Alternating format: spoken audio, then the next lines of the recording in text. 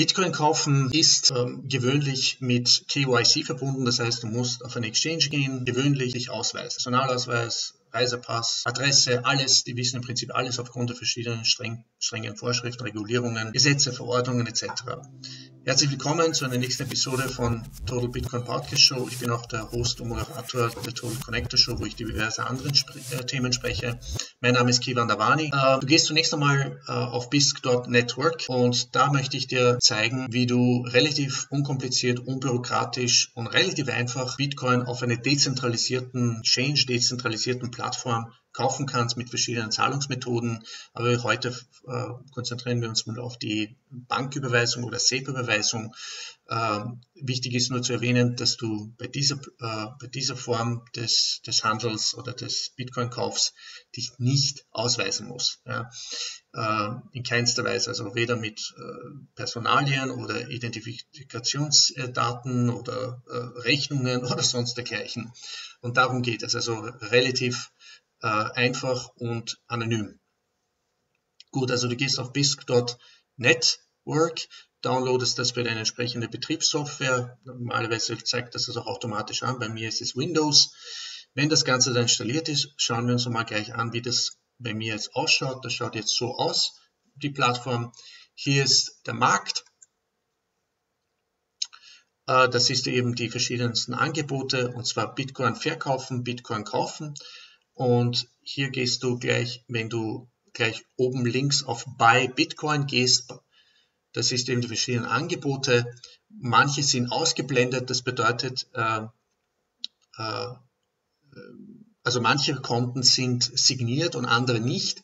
Dein Konto wird dann auch schließlich äh, oder kann auch signiert oder verifiziert werden nach einem bestimmten Zeitrahmen. Gewöhnlich, wenn ich mich recht erinnere, sind das 30 Tage. Ähm, äh, ich glaube, es ist herunter reduziert worden von 60 auf 30 Tage oder so ähnlich. Gut, also hier siehst du die verschiedenen Dropdown-Möglichkeiten. Also hier kannst du die, die Währung aussuchen. Ich habe, weil wir in der EU sind, äh, Euro und SEPA genommen. Es gibt auch verschiedenste Zahlungsmethoden hier, die du hier filtern und selektieren kannst. SEPA, äh, du kannst mittlerweile jetzt auch schon mit Amazon E-Gift Card kaufen.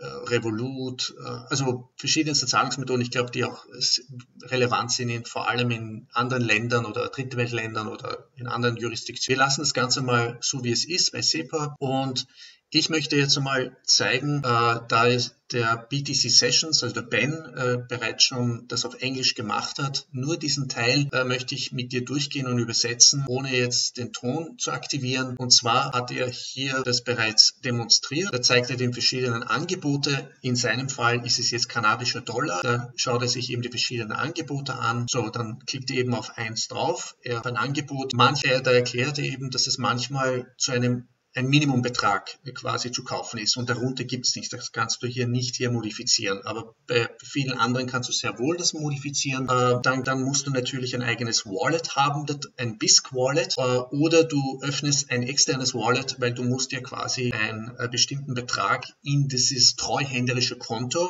weil beide, sowohl Käufer als auch Verkäufer, müssen zwecks Sicherheitshinterlegung oder um Betrügereien zu, zu ver, verhindern, einen bestimmten Betrag da einzahlen in dieses treuhänderische Konto. Ein prozentueller Anteil des Gesamtvolumens äh, des, der Transaktion oder des äh, des Angebots. So, da schaut er sich eben alle Daten nochmal an, bestätigt das Ganze, ja, ich, also er akzeptiert eben das Angebot, Bitcoin zu kaufen. Äh, hier sieht ihr eben, ja, du hast erfolgreich das Angebot angenommen, dann geht er auf Portfolio hier oben, das kann man auch hier oben äh, anklicken. Hier schaut er sich noch einmal an, eben die verschiedenen Schritte, die er da durchgehen muss und dann eben nach einigen Momenten, da hat er eben die verschiedenen Transaktionsdetails, die Kontendetails des, äh, des Käufers oder Verkäufers eben ausgeblendet aus Sicherheitsgründen und um die Privatsphäre auch des anderen auch zu äh, bewahren.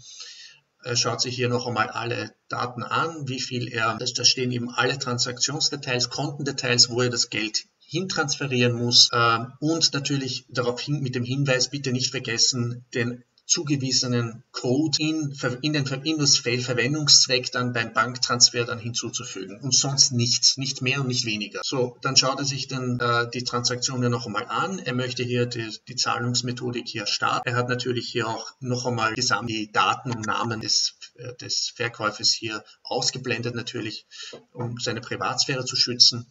Er schaut sich hier alle Daten nochmal an. Es ist eben die Adresse oder die ID. Äh, dann, sobald sozusagen dein Konto oder dein Zahlungskonto hier verifiziert wurde, kannst du auch andere oder höhere Beträge handeln oder kaufen, verkaufen oder wie auch immer. Und das passiert gewöhnlich nach 30 Tagen vom vom, vom Zeitpunkt des, der, der, Letz-, der ersten Transaktion. So, und das Ganze schaut dann zum am Ende dann so aus. Er sieht dann hier die Zusammenfassung der Transaktion, die Gebühren und so weiter, was er bezahlt hat, wie viel Bitcoin er gekauft hat. Kann er eben noch, hier kannst du auswählen, willst du auf ein externes Wallet transferieren oder in ein BISC Wallet beibehalten. Und ich würde gleich hier vorschlagen, dass du es, wenn du es auf ein externes Wallet gleich, mach es dir einfach, richte dir ein Samurai Wallet an und von dort kannst du dann direkt automatisch dann per Knopfdruck alles mixen alle Coins.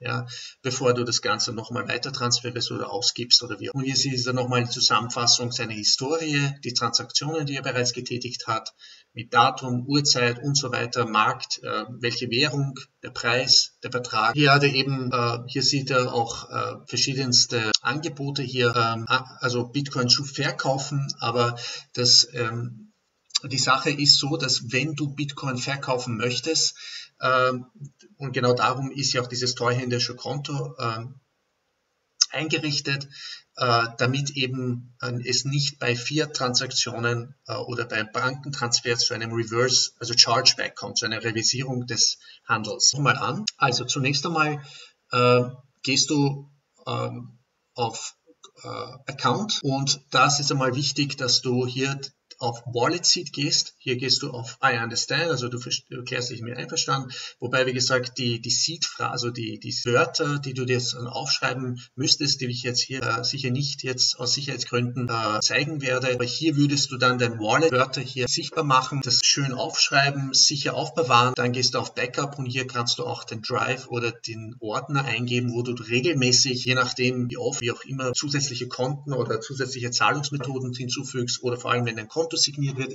Also verschiedenste Informationen werden da gespeichert und deshalb solltest du regelmäßig dein Konto äh, hier ein Backup machen von, deiner, von deinem Konto quasi. Und hier siehst du auf Settings, ja, kannst du verschiedenste Einstellungen machen, Sprache, Land und so weiter, Bitcoin Explorer, Währung und so weiter. Hier in diesem Feld, dass ich, kannst du auch verschiedene Währungen äh, hinzufügen oder löschen, die du entweder brauchst oder nicht brauchst. Äh, hier siehst du deine Funds, die verschiedenen Transaktionen, die du vielleicht bereits gemacht hast, äh, Transaktionen, die Locked Funds, also die sozusagen schon gesperrt wurden äh, für bestimmte Zwecke. Das sind die reservierten äh, Funds für bestimmte Transaktionen. Wenn du zum Beispiel eine, ein Angebot gemacht haben solltest, dann müsstest du hier zum Beispiel ein, äh, einen bestimmten prozentuellen Anteil oder einen bestimmten Betrag hier in Reserve halten.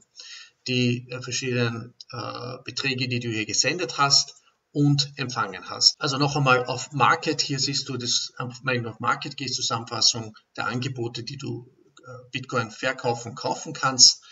Und wenn du auf Buy Bitcoin gehst, dann würden wir jetzt mal auf die, auf die, auf den, auf die Kaufangebote hier. Hier kannst du eben die Währung eingeben, SEPA zum Beispiel. Also ich gehe nochmal auf Euro, wir behalten es so bei. Und hier kannst du eben äh, sehen, welche Konten auch signiert wurden und wenn es zum Beispiel darauf auf 0,1 geht, äh, Bitcoin, das erste Angebot hier, da siehst du, da kannst, du kannst es hier nicht ändern. Das heißt, es ist ein Minimalbetrag, den du hier kaufen musst, darunter geht nichts. Und ansonsten kannst du hier dein eigenes Offert machen, Create New Offer. Und da kannst du eben, sagen wir mal, 0,01 hier eingeben, den Betrag, den fixierten Betrag, oder du kannst es auch umdrehen, indem du sagst, du möchtest 5% unter dem Marktpreis. Dann gibt er dir automatisch den Betrag ein, den du hier einzahlen musst und das wäre dann sozusagen der fixierte Preis, wäre 15.105. Also heute wir haben wir den 15. Äh, Dezember 2020, der Preis liegt weit höher, liegt bei ca. 15.500 oder 15.800. Das wäre jetzt 5% auf, unter dem existierenden, bestehenden Marktwert und das wäre sozusagen der Betrag. Also hier kannst du definitiv das selber einfügen. Ansonsten, wenn du auf Buy Bitcoin gehst, kannst du dir einige einfach nur mal anzuschauen, kannst du das hier, hier kannst du es auch nicht ändern. Also ähm, es gibt manche Beträge, wie zum Beispiel hier. Also es gibt manche, ich, ich finde das jetzt nicht auf Ad-Hoc, ähm, aber du, es gibt manche äh, Angebote, wo du das äh, sozusagen unter dem, ähm, äh, unter dem angegebenen Wert noch modifizieren kannst. Ja? Also, oder das, was du dir einfach leisten kannst oder, oder kaufen möchtest. Ja? Ansonsten würde ich einfach ein eigenes Angebot hier erstellen und dann einfach mal ruhen lassen und irgendwann einmal, also solange es nicht substanziell jetzt viel, viel niedriger ist, wirst du jetzt nicht allzu lang warten. Und äh, also sagen wir mal nochmal 0,01 Du kannst hier eingeben 5%, sagen wir mal, unter dem Marktwert. Das sind dann, ah, Verzeihung, hier 0, hier gibst du zum Beispiel ein 5%. Hier siehst du den fixierten Betrag, der, sagen wir mal, 0,01. Ja, und hier ist der fixierte Betrag. Und du kannst es aber auch umdrehen, indem du einfach den Marktpreis eingibst, der, der, dir, äh, der dir zustimmt. Ja? Also der, der für dich angenehm ist, der, äh, mit dem du dich einverstanden erklärst.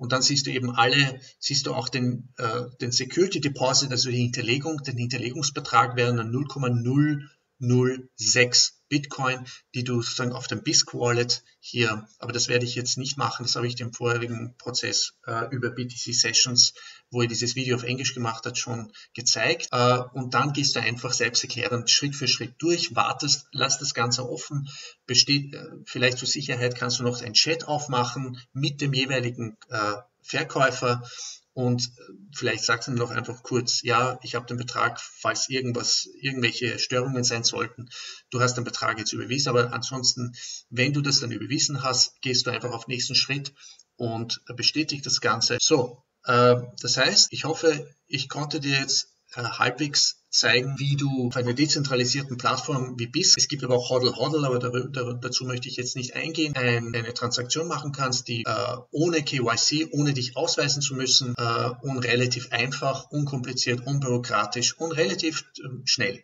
kannst du das Ganze äh, machen. Also du kannst hier verschiedenste Angebote hier einsehen und dir eins aussuchen und hier siehst du, wie gesagt, noch einmal, welche Konten hier signiert sind mit dem Häkchen oder andere, die noch nicht verifiziert wurden und du siehst auch auch, seit wann äh, diese Konten verifiziert oder signiert wurden. Und hier kannst du noch einmal filtern, welche Zahlungsmittel. Ich lasse das einmal auf SEPA. Überraschenderweise ist, gibt es auch viel, viel mehr Angebote äh, im EU-Raum als in anderen Ländern, wie zum Beispiel Kanada, äh, wie ich jetzt erfahren habe. So, ich hoffe, ich konnte dir jetzt helfen. Äh, also wie gesagt, äh, Plattform, äh, die BISC-Software downloaden, installieren, auf Konto gehen, Account gehen, äh, Passwort einrichten, Backup machen regelmäßig, die Seed-Phrase, also die, die Wörter, die 12 oder 24 Wörter, äh, wirklich ganz sicher und, und äh, ähm, aufschreiben und aufbewahren ähm, und regelmäßig ein Backup machen. Ansonsten gibt es verschiedene Settings, die du dir selber ja anschauen kannst, selbsterklärend und die Transaktionen, Zusammenfassungen, äh, Support gibt es auch, falls es irgendwelche ja, äh, Anomalie geben sollte oder die Transaktion nicht durchgehen sollte, dann gibt es auch eine Art Arbitration oder Mediation. Also das ist für alles wirklich vorgesorgt, aber ich gehe davon aus, dass es sehr, sehr selten zu solchen äh, Arbitrations kommt oder äh, Vergleiche oder eben, ja, wo du eben eine, eine, einen Antrag einreichst, um auf Ersatz oder auf Kompensation oder wie auch immer, oder dass dir eben die, die, die Betrag, den du schon überwiesen hast, äh, zurücküberwiesen wird aus einem aus einem Fonds. Ja, aber ich habe bis jetzt wirklich gute Erfahrungen gemacht und kann ich dir nur ans Herz legen. So, ich hoffe, ich konnte dir damit helfen und äh, falls du irgendwelche Fragen haben solltest, meine DMs sind offen, direkte Message oder meine E-Mail-Adresse ist kd.kevandavani.com und äh, meine E-Mail-Adresse ist auch hello at thetotalconnector.com. Bitte folge mir auf Twitter, abonniere meinen YouTube-Kanal, meine Podcast-Plattform. Vielen herzlichen Dank für deine Aufmerksamkeit und äh, lass mich wissen, falls du irgendwelche Wünsche, Fragen oder Kommentare haben solltest.